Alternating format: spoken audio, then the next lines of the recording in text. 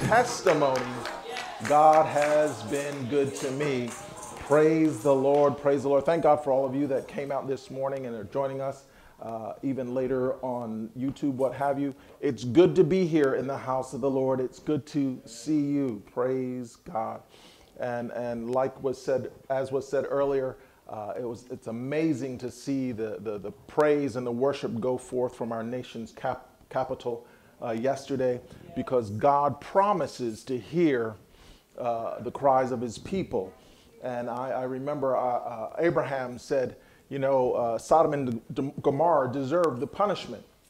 But he said, for 10 righteous folks, would you not spare them? And God said, for 10, I would. And the park ranger said that there were about 1 million people on the mall of our capital praying, crying out to God that God spare this nation.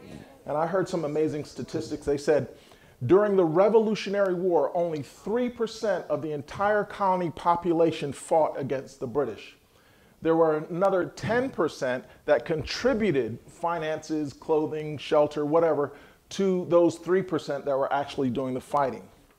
But there was 36, 37% that opposed those wanting to separate from uh, Great Britain. They actually fought with the British. Th- can you imagine? 37% of our nation's or the colony's population was siding with the British. And there was another 50% who were clueless as to what was even going on. As long as I get dinner at 5 o'clock in the evening, my favorite show, come on, that's all I'm concerned about.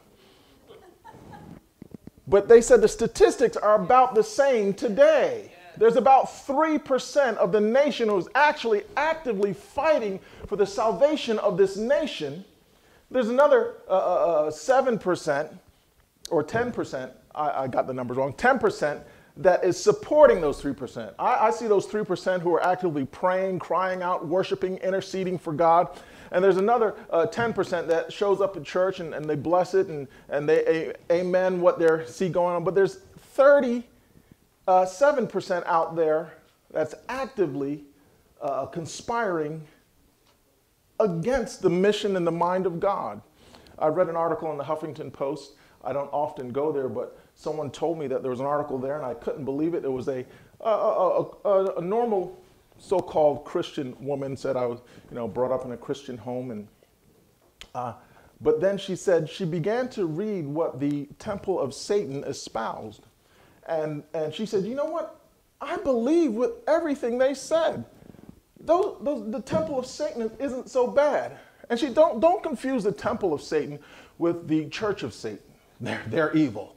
But the, the temple of Satan, folks, the uh, Satanists, they're okay. They believe that, you know, women should have the right to kill their unborn fetuses. They, they believe that you could live any kind of lifestyle uh, you want uh, as long as you don't harm anybody. You can live all kinds of promiscuous life. And she said, you know what? I believe that. They believe that you should uh, worship uh, uh, nature and protect it and revere it above uh, your own life. She, I, I, you know, I believe all of that right there in the Huffington Post, well-known website for news. And I said, wow, is that the mind of the average person today? It's, it's, it's just insane what has been going on in our country. And I find that the voice of the church has been marginalized. People used to look to the church and say, What is the church saying? What is God saying? But now it's been marginalized. Amen. All right, I don't want to go into editorial, which I could easily do. Uh, turn in your Bibles to Luke chapter 2, verse 49. We have just come through Rosh Hashanah, Somebody said uh, during the time of Rosh Hashanah, 10 days, uh, that's when the Jews believed that uh, essentially, let it be written. Whatever you confess during those 10 times, you confess your sins. They believe you're to confess your sins and make things right with God. Whatever you confess, let it be written. And then on the day of Yom Kippur, which is today, which happened at 6 o'clock last night, uh, it is said, the Jews say, let it be sealed. All those things that you've confessed and prayed for during the past 10 days, the days of atonement, the days of awe, uh, today is the day it is sealed now for another year. So I hope you made some good confessions. Praise the Lord. All right. Luke chapter 2, verse 49. And Jesus said unto them, How is it that ye sought me?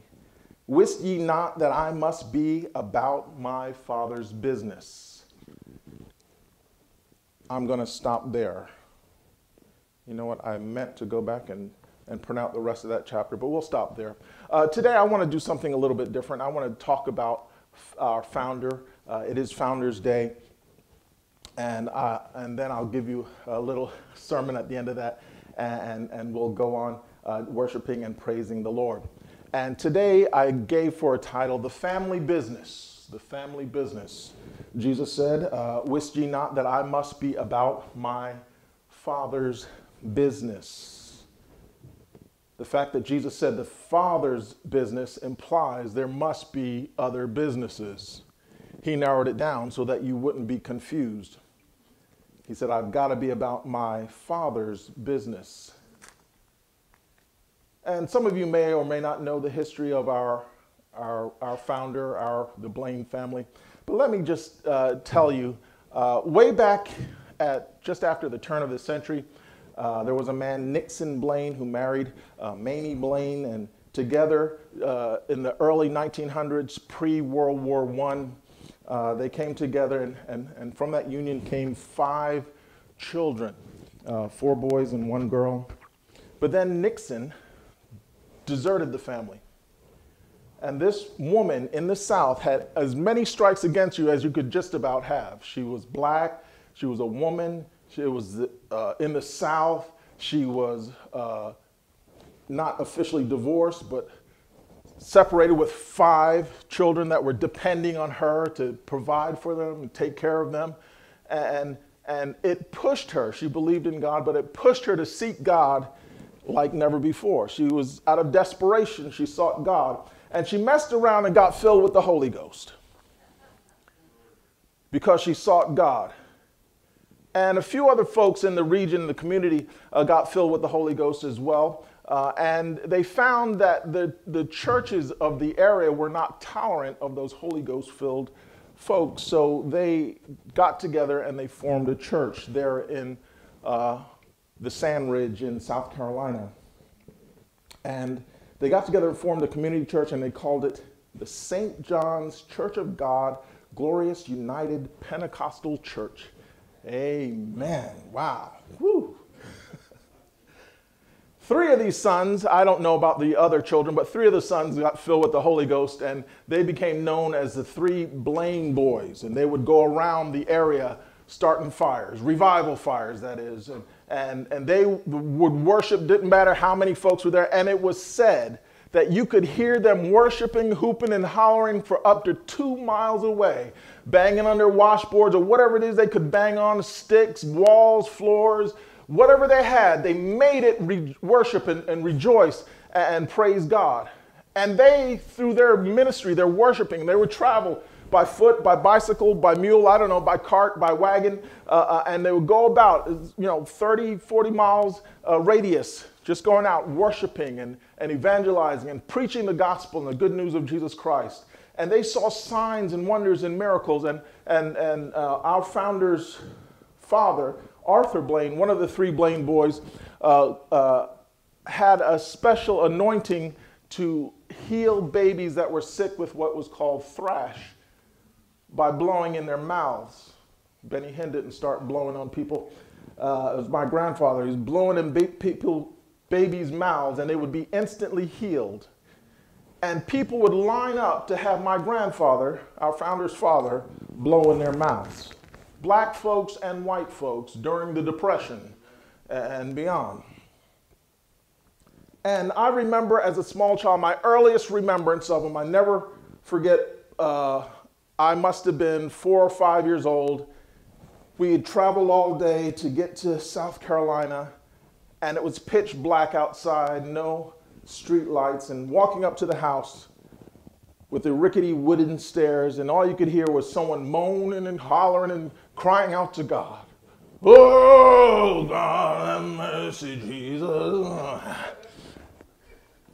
And that was granddad. That was Arthur Blaine. And he would pray for many hours every day. And sometimes he wouldn't come out of that room, which is right at the front of the house. He'd come in the front door, and right to the immediate right was his prayer room where he would be crying out to God.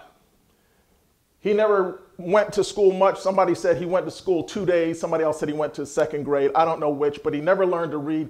But miraculously, he could read the Word of God. And he knew enough of the Word of God to trust it, believe it, and see God work in his life. And he prayed for his 11 children, one of which was our founder, uh, Reverend John Blaine Sr. And out of those 11 children, nine of them became preachers. This became like the family business. All 11 were working in the church and they were mightily blessed. And I attribute that so much to my grandfather staying in that room before the Lord. He said, When I don't know what to do, I know to call on the name of Jesus. And he was standing, staying there and call on the Lord so much so that his children were blessed and his children were prosperous. And God did a great work. And, and uh, from him came uh, John Blaine uh, Sr., my dad, and God used him mightily. And, it, and he is known up and down the eastern seaboard today for his teaching of the Word of God. He uh, taught in Bible school prior to his pastoring and had a class, classes of a thousand students who were teaching.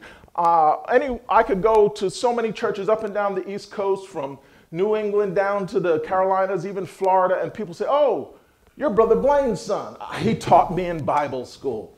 And so many can attribute their maturing in the faith due to his teaching. And the Lord uh, called him to start the Philadelphia Deliverance Tabernacle. And, and here we are today, and, and God prospered us and blessed us. And, and we've been up and down and all around, and, and, and God is. Believe today that God is pouring out his spirit as never before, but he's remained faithful. They said, you know what, the average lifespan of a church is about five years. And we've made it through 44 years, through thick and thin. And God is now, we're on the verge of seeing uh, greater than we've ever seen before, greater than we've ever experienced before, because uh, our founder has remained faithful despite what it looked like. God has always provided, God has always made a way where there seemed to be no way. And now here I stand today on the shoulders of giants, endeavoring to continue the family's business. So now you know where we come from. It's the family business. Jesus said to uh, Mary and Martha, You know the story. Uh, they came to Jerusalem to pay their taxes, and they traveled they said about a day's journey. There was a spot where they would, uh, the people traveling out of Jerusalem would come to rest and, and, and they would do a little socializing. And that's where they stopped and they realized uh, that Jesus wasn't in the mix. Jesus was nowhere to be found. And they spent another day going all the way back to uh, Jerusalem looking for Jesus. And I brought this out on the third day message that it was on the third day that they found Jesus in the temple. And it is in the third day that Jesus is going to revisit his temple as he has never done before. I'm not going to redo the third day message, but she was uh, highly upset. I don't know if you've ever made your mother upset, and I don't know if Jesus got a spanking that day. But he said, How is it that you sought me? Wist ye not that I must be about my Father's business? Uh, I meant to look up while I was yabbering on. I was supposed to be looking up the rest of that verse, but it said he subjected himself to his mother. He, he, he obeyed her uh, after he'd said, This is what I'm called to do. I'm called to take care of the family business. And I'm say- telling you today, I-, I don't care if you're a Blaine or not. If you are a child of God, if you are a blood brother to Jesus Christ, God is commissioning you and God has called you today to take care of the family business. Take care of the family business.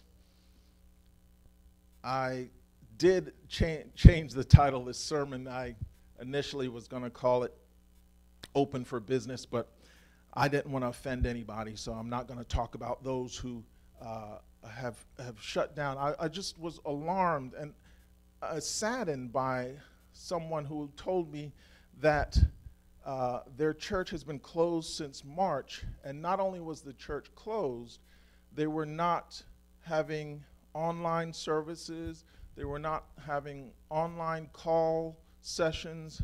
I said, "You mean you're not? You've not done? The church has not done anything?"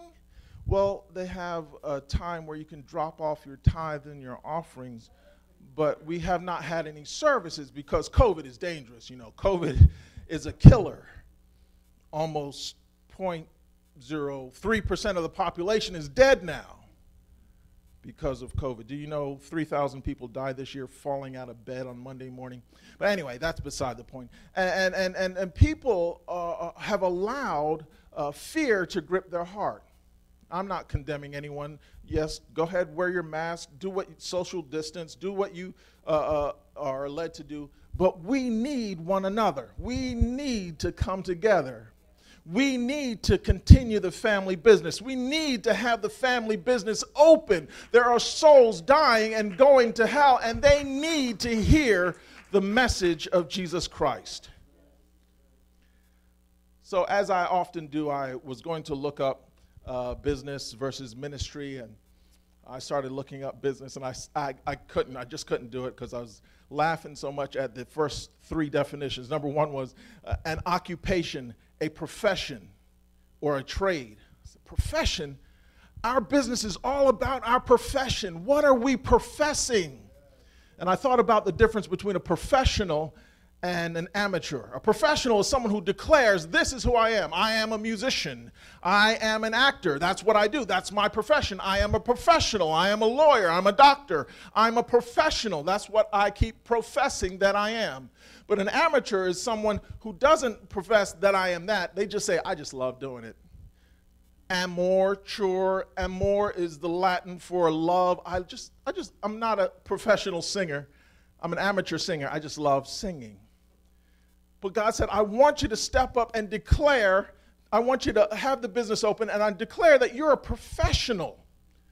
I am a son of God. I am in the business of Christ. I am in the business of saving souls. And the second definition, I had to laugh at that one. It said, the, the purchase and sale of goods in attempt to make a profit.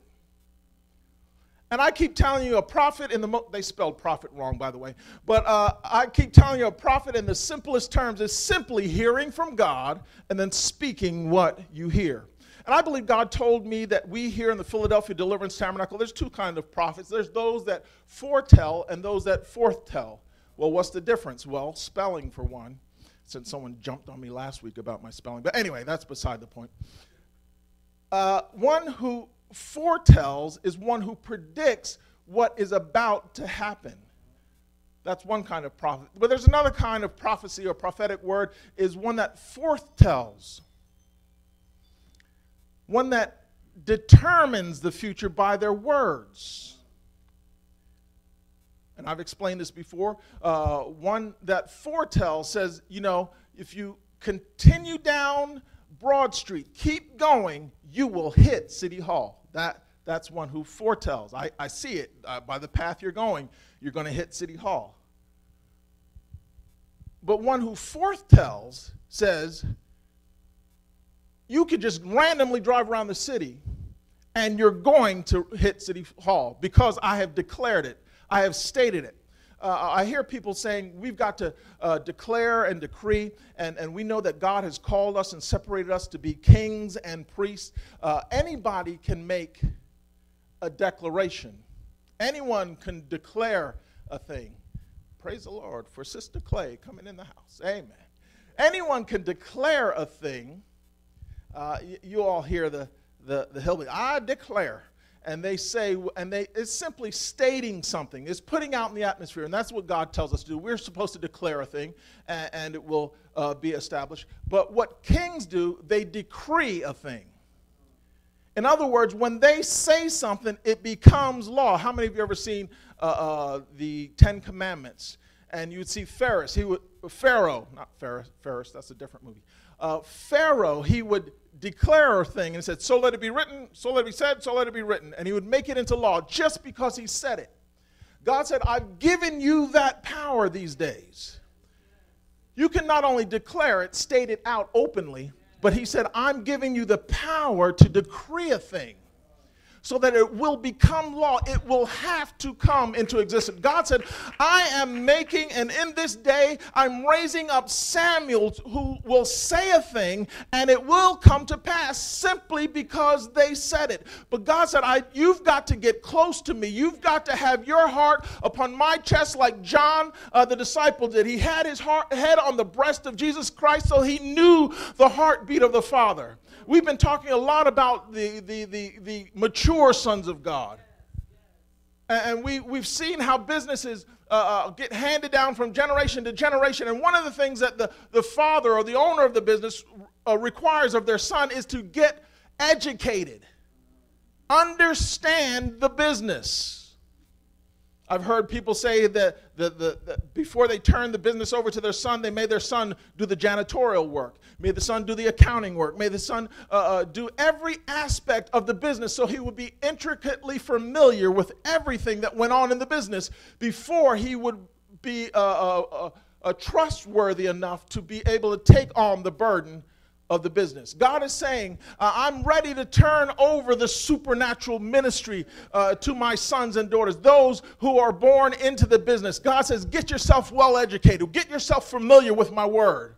People want to go out and preach. They don't even know two Bible verses. They know John 3:16 and they get cards printed up and say, "Call me to come preach at your church." Jesus said he had two missions, two assignments, and I tell you all the time, and it says for the Son of Man is come but to seek and to save that which was lost. Jesus Christ's mission, his mission statement for his business was to go out and look for those who were lost and to save them. But the second part, he said, uh, John, 1 John 3 8, and he that committeth sin is of the devil, for the devil sinneth from the beginning. For his purpose, for this purpose, the Son of God was manifested that he might destroy the works of the devil. He came to seek and to save that which was lost, and he came to destroy the works of the devil. You know what? I believe that the church, the America, this country is in the predicament it is in today is because we've come in trying to save souls, we, and that's a good thing. Save souls, come into church and say, you know, buckle up, get ready for rapture. It's going to get a little bit rough, but soon and very soon we're going to see the King. Hallelujah, hallelujah. But we forget about it is also our mission to go out and destroy the works of the enemy. I believe that's what was happening on yesterday. They were going out and ripping up the ground, plowing the ground, tilling the soil so that the soil can again receive the word of God. We've taught on Friday nights that uh, Jesus told his disciples, He said, Whosoever sins you remit, they are remitted, and whosoever sins are retained, they are retained. And we had, after some discussion about that, uh, we, we concluded that what Jesus was saying, he said, uh, you know, I, I, believe, I believe because of, of the atmosphere, people can't receive Jesus Christ. You can preach at them all you want, but because of the atmosphere they're in, because of the layer of sin they have accumulated on their life, they can't receive Jesus Christ. They can't hear, they can't see uh, the convicting power of the Holy Ghost. But I believe what Jesus was saying, he said, if we remit their sins, we peel back that cloud. We peel back that covering that will prevent them from receiving what the Holy Spirit wants to do. Uh, then, then the Holy Spirit can come right in and convict them, and we can see the most hardened sinners, the most ad, uh, uh those who are, are most uh, uh, opposed to the things of God, suddenly come and change and come to a realization that they need Jesus Christ. Yes, there are other businesses out there John, 1 John 3:10 reads, "In this the children of God are manifest, and the children of the devil, whosoever doth not righteousness is not of God, neither he that loveth not his brother." God is saying, I've called you to know the business of righteousness, knowing that you not only have to get them saved, but you have to destroy the works of the enemy. God says we, the only way we're going to do this is if we put on the whole armor of God. We've talked about this time and again. We talked about it even again uh, on Friday night in our in our in our uh, discipleship class. The importance of the whole armor of God. Some people think that that's what happens when we get saved, but no. I like to point out in Ephesians chapter six. It starts out said, "Finally, my brethren." he's talking to people that are already saved. There are folks that are already saved, but they're not about the Father's business. They're not able to handle the mission that God has assigned the people of God. We've got to be like Jesus and say, I'm about my Father's business every minute of every day. And we've got to, to do this, we have to equip ourselves. I, I listed five things we'll go through in just a minute. But, but one thing Dad would always say uh, uh, uh, our mission is simple. He said, simply turn right and keep straight. To get people out of their condition, turn right, turn to God, and just keep going, going for God. That's the simplicity of our mission. Our mission, our, our job, our business is to point people toward heaven and to shut down the gates of hell. A couple weeks ago, we talked about the gates. We, we, we not only control uh, the blessing gates, uh, Jesus said that we are portals into heaven. He said the Son of Man will uh, uh, be that portal, that ladder where angels can ascend into heaven and descend down into the earth. We are the portal through which the glory of God will be displayed and demonstrated in the earth. But he said also that the church uh, has control over the gates of hell. He said, Upon this rock, upon this truth, upon the knowledge of Jesus Christ, upon learning of Him and getting Him in you and incorporating His word in you and getting His heartbeat in your heart, then the gates of hell shall not prevail against you. You will be able to conquer and, and overcome the forces of the enemy. The reason the, that hell is rampaging in, in America today is because we fail to go out and destroy the work of Jesus Christ. We have this responsibility, 2 Corinthians 5:18, and all things are of God who hath reconciled us to himself by Jesus Christ and have given to us the ministry of reconciliation. It is our job to bring people to the saving knowledge of Jesus Christ, to reconcile them back to God. C.S. Lewis, you may know C.S. Lewis from the Chronicles of Narnia and famous Christian writings. Uh, one of his quotes, he said, the glory of God and as our only means to glorifying Him, the salvation of human souls is the real business of life. C.S. Lewis is saying essentially the only function, the only reason we are here still after we get saved is for one reason and that's to win other souls from God. You say you love God, you know what God loves most. When you love somebody, you find out what they love and you try to get it for them. You try to do it for them. If they love flowers, you try and find some flowers and get it to them. Doesn't matter if you yourself love them or not, because they love it. I want to go out and get what they love because I love them. If you love God, you know what pleases God the most? Souls. If you really love God, you cannot sit idly by with your mouth closed and not tell anyone of the love story of Jesus. They said 85% of, of Christians have never told anyone about Jesus Christ. And they said about 12% of that remaining 15% are, are, are parents who tell their children about Jesus Christ. But outside of that, there's only like 3% that go out regularly and tell people, purposely tell people about Jesus Christ. We have all inherited a family business. Five questions we have to ask ourselves, and I'm done. Number one, we're starting this business. Do we have the best product? Do we have the best product? And that is no question, is undoubtedly, absolutely. Salvation through Jesus Christ is the best product. In I was going to say of all times, but even before time was invented. I was going to say in all the universe, but it's even bigger than the universe. We have the best product beyond everything. Period. We have the ultimate product. I was uh, training to be a salesman at one point, and they uh, had us read this book called The World's Greatest Salesman. And he, the whole time I'm reading the book, the guy said, You're going to like the end. You're going to like the end. And it's telling about sales and all the things he had to do and, and statistics and knowing your demographics and blah, blah, blah, blah, blah, blah, blah. And at the end, it turns out it was the Apostle Paul who was writing the book on how to promote the Jesus Christ. So, the world's greatest salesman is the one who knows how to package Jesus Christ. See, I've said so many times the world does a terrible job of telling the truth, while the world does a wonderful job of telling a lie.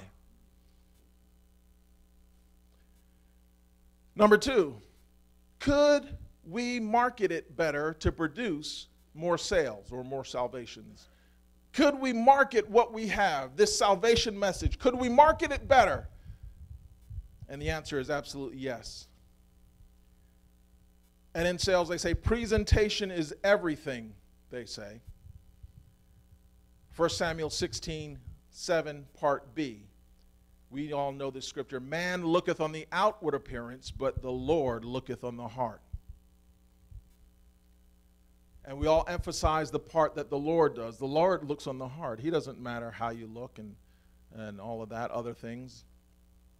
But let me tell you, if you go out witnessing to folk and you have worse body odor than they have and worse bad breath than they have, uh, your presentation is not going to be as effective. We've got to do a better job. We've got to think about these things. We, want, we don't want anyone to slip through the cracks. We've got to consider our hygiene uh, uh, and our presentation, how sloppy or dirty we are. I know some of us, we have dirty jobs and we get dirty. We can't help that. But on the norm, when we're presenting the gospel, and maybe we can do it while we're uh, dumping trash cans in the back of a trash truck, we can still do it then. But uh, we shouldn't go shopping like that, like we've just got off the back of a trash truck. We're to represent the kingdom of God. Is our appearance, or is our parent, appearance uh, seductive as if we're selling more than just Jesus? People of God, I know God is not about dress, but He is concerned about how you affect your brothers and sisters. Be conscious of your appearance. I'm not saying you have to wear makeup and perfume every day. I'm not telling you you have to have Sunday's best on or, or wedding best on every day. But I'm telling you, be concerned because we've got a valuable product on the outside that we want someone to be envious of. We don't want any. I know the Holy Ghost can work through how we look or, or how we present ourselves. I know the Holy Ghost can work through all of that. But like the uh, minister of music was saying, he said, let's worship the Lord to create an atmosphere to make preaching easy. Let's make it easier for the Holy Ghost. Let's not have the Holy Ghost have to wrestle against us too, along with the spirits that we're, we're, we're, we're, talking to or, or, or presenting to. Could we know more about our product? Yes. Education is paramount. Now, I say that with air quotes because of what we're teaching our children in the school systems today. Uh, nobody needs to learn some of that garbage. But we, as uh, uh, people who own a business, are in charge of our Father's business, we have to know about what we are selling. I said I went through sales school and I was alarmed to be coupled up with someone and we're supposed to be selling a product and I'm amazed at what's coming out of this other guy's mouth. I said, Man, you didn't even read the material. You don't even know what you're talking about. Listen, some people say, I don't witness because they might ask me a question. Some say, I don't know enough. I don't know a whole bunch of scriptures. What do you know?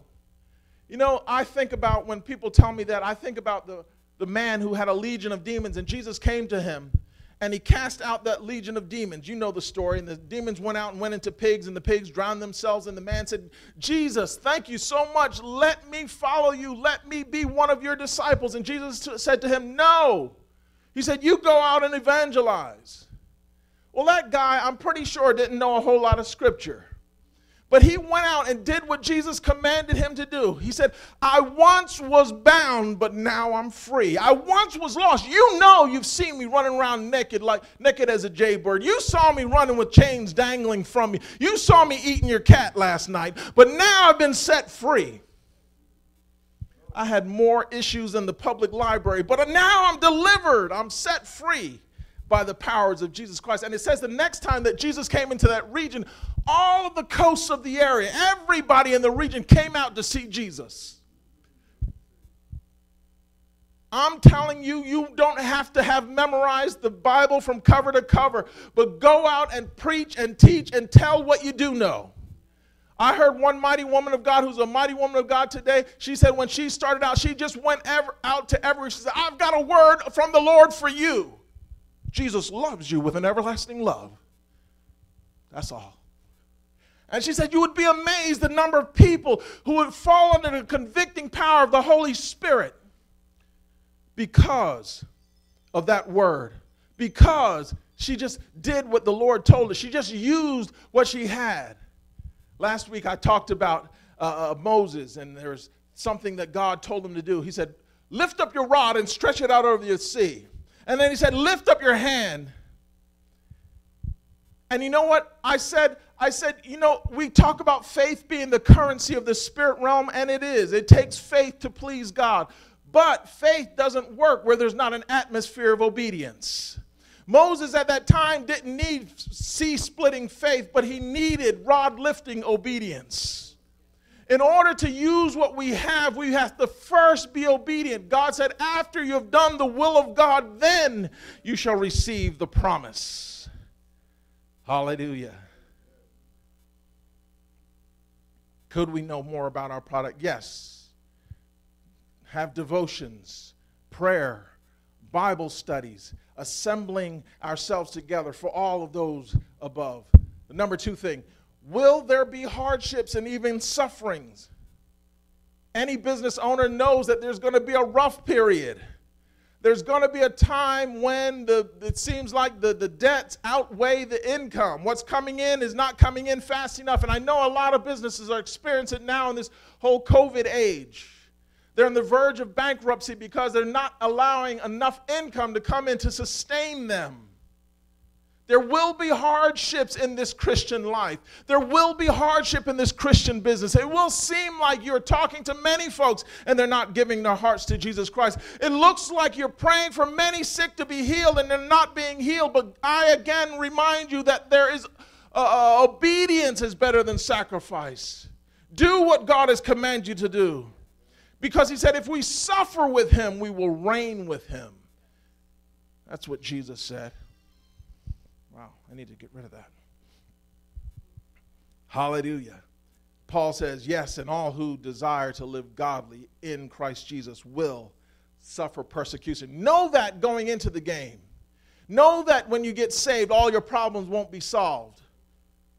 You'll just have Jesus Christ to be there with you to help you make it through onward Christian soldiers. Endure hardness as a good soldier. Uh, number four, can we rely on God strengthening us to do His will? Absolutely yes. Ephesians 3 tells us. You can read this at home. Colossians 1:11. While rejoicing in trials and tribulations, Romans 5 tells us God has set in motion the spiritual forces of the universe so that no temptation can overtake us without there being a way of escape provided. He works all things together for our good Amen. We talked about this on our Friday night discipleship class. I've heard, I've witnessed at funerals young folks dying through violence and other means well before their time. And people will get up in the church, well, you know, it was God's time for them to go. You know, God will work all things together for their good. No, the scripture said it will work it together for the good for those that love him, those who are out striving for the accord of his will, those who are, who are working in the will of the Lord. It's not for everybody. And what if you're a child of God and, and, and, and some hurt or calamity has come in your life? Well, for them, it might be a curse because they have refused and rejected. And the example in our Friday night Bible study said, so what if this teenage couple get together, you know, they smoke a little weed, they drink uh, a, a 12 pack of beer, and, and then they go out driving and they skid off the road and they're both killed. He said, Is that all things working together? Was that the will and the purpose and the plan of God? No. They stepped outside the will of God, they stepped out of the purpose and the protection of God. It's the consequences, as uh, uh, Sister Tony said, of their actions. But God will take that situation, if you love God, and work it out for a blessing in your life. God will not cause that to be forever a stumbling block in your life. He will take it and make it somehow work for good if you love the Lord for you.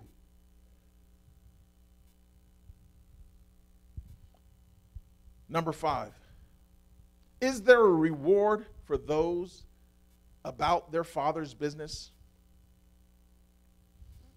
On earth, a son about his father's business receives a reward, an inheritance, but a son not about his father's business does not receive a reward. Likewise, those about God's business receive an inheritance, abundant life. Paul says, For I am already being poured out as a drink offering and the time of my departure is at hand. I have fought a good fight. I have finished my course. I have kept the faith. Finally, there is laid up for me a crown of righteousness, which the Lord, the righteous judge, shall give to me at that day, but not to me only, but to all them also who love his appearing. There is a reward, not to be confused with the gift. Salvation is a gift. You don't have to do anything to earn salvation. But to get the reward, you have to do something. But the great thing about the reward is you put in a little bit of effort, and what you get back is so many times greater than what you put in. It's like I'm not encouraging anyone to play the lottery, but it's you go out and you pay a dollar for your lottery ticket, and if you win, you get the reward thousand time over. Don't play the lottery because your chances of winning are not good. Just that I put that in there.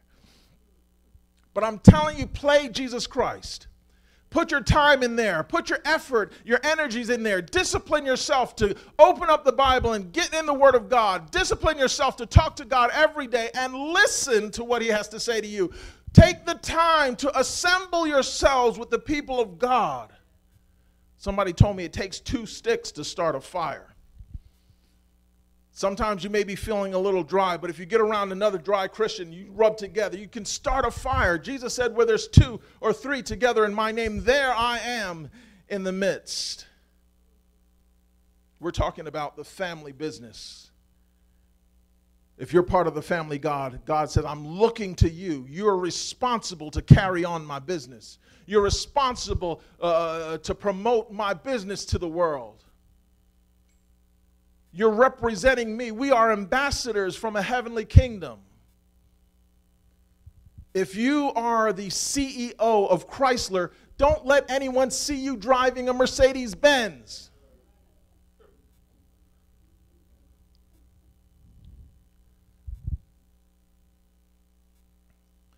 Have mercy. But there are so many Christians who think it not strange to be in perfect alignment, perfect step with the world.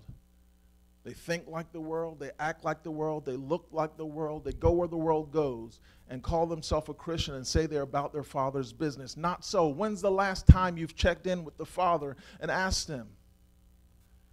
I had someone beat me down, was texting me every day, telling me, oh, you shouldn't be voting for so and so. You shouldn't, you shouldn't, you know, stop, stop. I said, well, you're a Christian. Who's God telling you to vote? I didn't ask God. Do we have a problem here? In all thy ways acknowledge him, and he shall direct your path. I'm not condemning you. You go with whoever God tells you to vote for. But I tell you, seek first the kingdom of God and his righteousness, and then the blessings will come to you. Stop. Why is it, why is it uh, Christians can't see? They walk in lockstep with the world. They, they're in total agreement with, with the LGBT community. Uh, sin separates us from God, but God made a list of things that He abhors, the things that He cannot stand, that are abomination. And two of those things is are uh, things that are, are often talked about in, in politics today, and that should make it so easy. He said, He hateth a man that sheddeth innocent blood. I don't know of more innocent blood than the unborn. They have never killed, robbed, stolen, cursed, sworn, lied, cheated, anybody. But their blood is so in a, uh, haphazardly shed and, and discarded as if there were nothing. And then the other thing that God said he abhors is man sleeping with a man as though he was with a woman. Romans chapter 1, he said he's given those up to a reprobate mind. And we went through that. First, we think, uh, you know, uh, you know, just being promiscuous is okay. And then we think that, you know, homosexuality is okay. And then we get to the point where the man says, it's okay if I'm a woman now. God says, not so.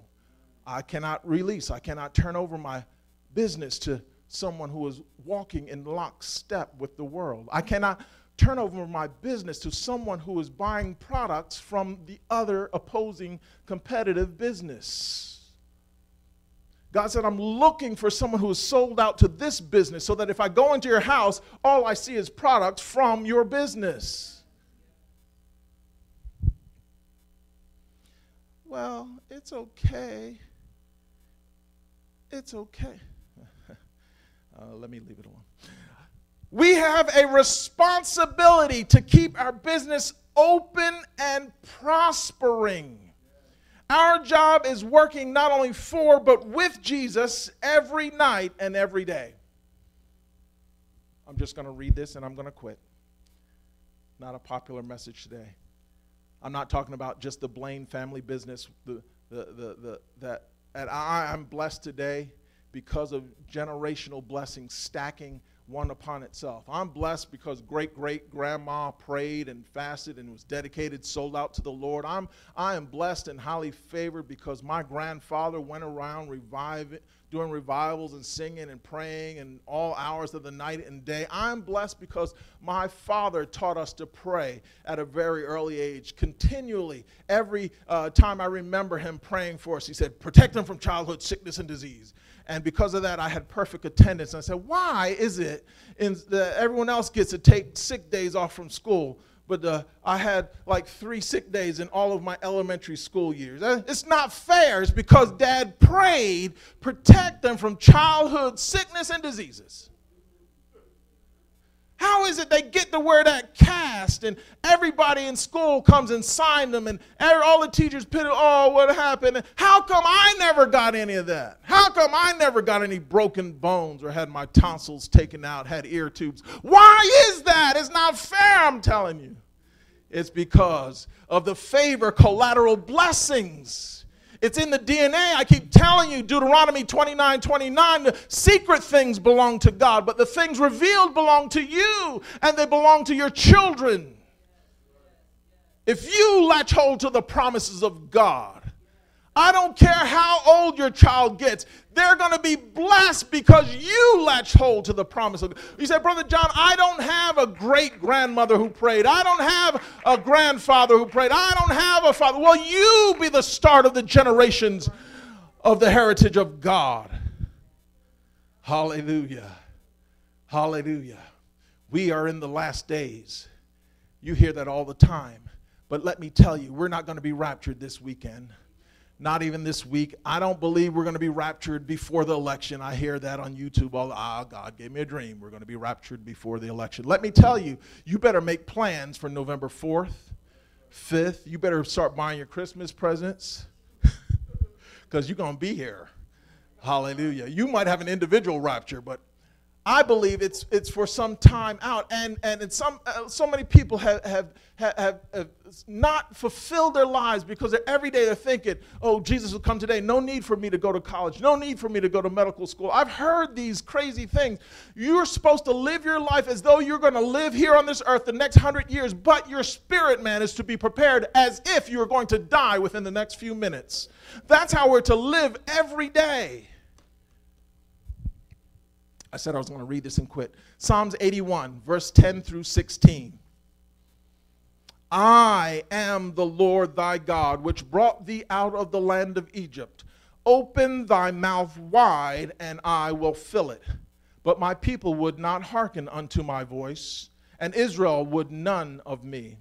So I gave them up unto their own heart's lusts, and they walked in their own counsels. Oh, that my people had hearkened unto me, and Israel had walked in my ways. I should soon have subdued their enemies and turned my hand against their adversaries. The haters of the Lord should have been submitted themselves unto him, and their time should have endured forever. he should have fed them also with the finest of wheat and with honey. Out of the rock should I have satisfied thee. When uh, my time is over, do not put that on my tombstone. Because I'm going to see every one of those things fulfilled. When I go into my prayer closet at night, I'm opening my mouth wide because he said he would fill it. He said the, the problem was Israel wouldn't open their mouth. I just asked you to open your mouth. I didn't ask you to part the Red Sea. I opened, asked you to open your mouth. God is saying, open your mouth, declare what you would have, decree, make a decree. You're a king, you're a royal, you're a royal priesthood, and all of these things I'll do for you. I'll give you your heart's desire if you hearken. I'll put your enemies under your feet. I'll destroy that person that keeps getting in your face. We talked about how the children of Israel were, were, spared from their enemies. Their enemies were killed, the ones that were pursuing them. Not only were they pursuing that day, but God killed them so that they wouldn't pursue them anymore. God said, The enemy that you see today, you will see no longer. God said, If you would open your mouth, stop singing the woe is me Oh God, you don't know how horrible I have it. My air condition is broken. It will only cool down to 70 degrees. God, I got a hole in my sock. Now I can't wear my five inch heels with the open toes. I don't know why you'd wear socks with those, but. Um, but we think we have it so rough. But let me tell you, you continue to allow what's going on in the world to go on, if you continue to support those that are promoting such foolishness, you will have it rough. I'm not saying you go to hell, but God said, I've come to give you life. That means He's come to give you eternal life. But if you take control of the business that I have assigned to you, He said, I'll give you abundant life. That's the reward. The gift is life eternal but the reward is life, abundant life in this world and the world to come. Jesus said, I'm looking for someone whom I can show myself strong in. I'm looking for someone whose heart is perfect toward me. He said, My eyes are going to and fro in all the earth. Because Jesus said, I'm looking for someone that will be like me. As I am, so are we in this world. This is what the Bible says. Someone who's looking to get above the places and the plateaus that they've heard about and that they've known about. I know you've seen some great men and women of God. I know you've seen and heard of great might and miracles, but God said, You have not yet scratched the surface of what I am able to and willing to and wanting to do in the earth. God said, I'm looking for someone to show exploits through. Hallelujah. I'm looking for someone that my power can so rest in them that demons tremble when your eyes open in the morning. They really begin to flee when you open your mouth to speak. But there is a price that we have to pay. You know, some people say, Oh, I'm glad that it didn't cost thousands of dollars to get saved. I'm so glad it didn't cost hundreds of thousands uh, uh, to get the Holy Ghost. Uh, I'm glad. You know, but maybe if it did, hallelujah. But God said, No, what it cost is disciplining yourself. What it costs is shutting away with me. I was reading about one of the great revivalists of the day who said, There's so much I have to do today, I cannot help but spend three hours every morning in prayer and seeking God's face. And that is the only way I'm able to get everything done that I need to get done. God says, I'm looking for a folk that will take on the family business, and I will prosper you I will make your way sweet. Yes, there'll be time you have to go through, but you'll go through the valley of the shadow of death. And in that valley of shadow of death, I'll prepare a table before you in the presence of your enemies. He said, I'll go before you and I'll go behind you. I'll be on your right and on your left. And I'll even be down on the inside. And when you open your mouth to speak, don't prepare a speech, but I'll speak through you. To take on the family business, first of all, you have to give Jesus Christ your heart. If you don't know Jesus Christ as your Lord and Savior, I encourage you today to accept Him as your Savior. It is so simple that, that so many theologians have made it complicated because it just seems too simple. They think if they make it more complicated, more would accept him. But all you have to do is say, I believe you, God. I believe that you sent Jesus Christ to die for my sins. And because of that, I received that. And now I am eligible to live eternally with you in heaven. That's step one. Just accepting the gift of Jesus Christ, you become saved. But the very next step, if you want to open the door to all the goody goodies and all of the promises of God, you have to turn away from your sins. You have to repent. I'm rejecting that lifestyle. Oh, but I, I, I, I don't know if I can give up uh, uh, uh, my, my cocktail every evening. I, I don't know if I could give up cigarettes. God says, Come to me first. We'll work that out.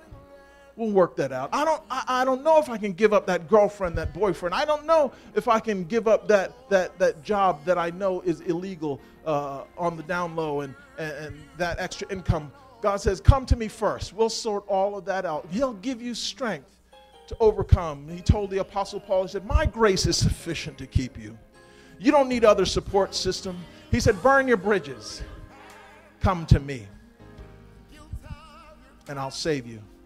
I'll welcome you into the family business. Lord, we thank you for all those that have heard the word today. We pray that you till the soil of their hearts. God, we remit their sins that the Holy Spirit can sweep in and do its work and convict sinners of their sins and cause them to cry out to you and save them, God. Save now, God, everyone under the sound of my voice. God, I pray in the name of Jesus that you revive us, awaken us, quicken us, fill us with your Holy Spirit, that we would be all that you'd have us to be, that we would be responsible enough to take the family business. God, we ask in the precious name of Jesus. God bless you. This is the hour of deliverance, and deliverance is taking the land. Until the next time, shalom.